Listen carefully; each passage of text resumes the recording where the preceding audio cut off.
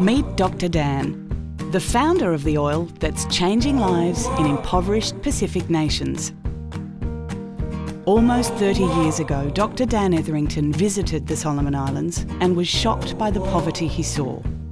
There were no jobs and alcoholism was rife. People had little money and even less hope for the future. What we've come up with is the fastest method of producing the oil, where from the time that you open a coconut to the time you get the oil can be in under one hour, which is, is remarkable.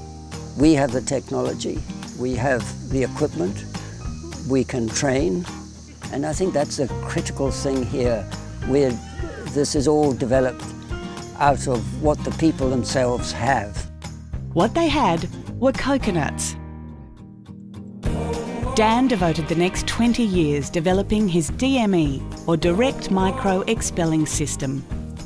Unlike harmful copra industry methods, his DME coconut oil press can be operated by anyone, regardless of gender, age, or disability, allowing coconut growers to produce their own oil, pressing small batches of wild harvested coconuts into pure extra virgin coconut oil.